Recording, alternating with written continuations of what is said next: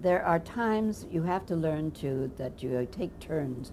Somebody gets a, a storyline on the front burner, as we say, and then you work a lot and maybe harder than you'd like to, and then that gets resolved, and then you're back on the back burner where not much happens. And that is really boring. A couple of times in my life, I have had very little to do, and they'd bring me in for like three or four lines. And I want to tell you that's the hardest day's work you can possibly do. First of all, you make more mistakes because you kind of got to get on a roll to get it happening. And when you've only got a few lines, you don't work as hard to memorize them as you do when you have a lot. And it's just uh, the ennui sets in. Uh, it's better now since we've divided the days.